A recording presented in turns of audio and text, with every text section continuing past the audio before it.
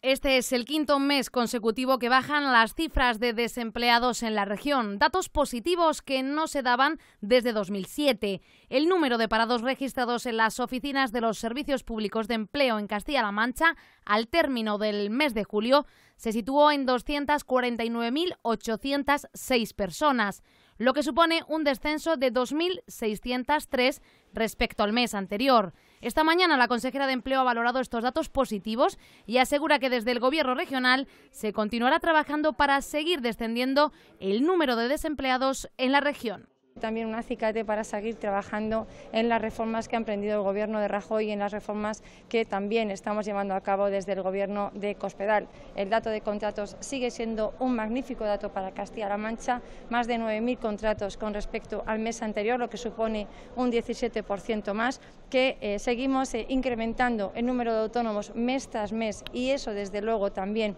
es una buena noticia para nosotros y que las altas en seguridad social también se siguen produciendo.